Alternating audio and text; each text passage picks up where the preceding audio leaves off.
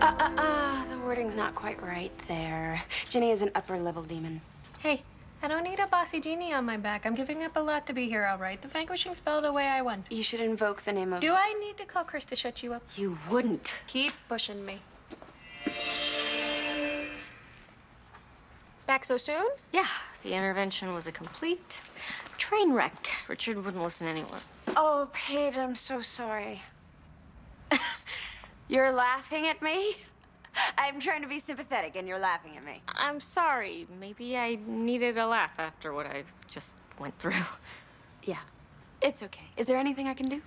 Yeah, but don't you um need to go help Major Nelson? What? It's funny. This is kind of funny. Let's just finish the spell, okay? All right. Hey, I want this done just as badly as you do. Did you find us a ghost? yeah, I got us uh, Richard's dad. He's hanging out in limbo, waiting for my call. Why do we need a ghost? Well, once we capture Ginny, he can possess her and force her to wish Phoebe free. Here's the crystals you wanted. Ah, you guys sure are chummy. Yeah, to change of heart, decided to let bygones be bygones. Really? Guys, there's something I have to tell you. Uh, after we talk in the kitchen, But Phoebe. Well, that was cool. Excuse me, I want to have a little one-on-one with the help. What's he hiding now? you want to make them do what?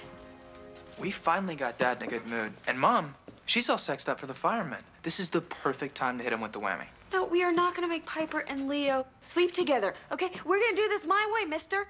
Master. Oh, you know what? Uh, listen to me. I'm sorry, Phoebe, but I'm running out of time here. A guy's got to survive. I wish for Piper and Leo to sleep together tonight. I'm not. What was that?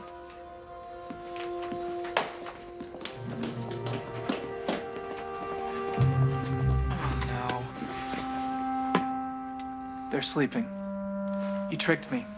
No, you made me wish for them to sleep together. And they're sleeping together.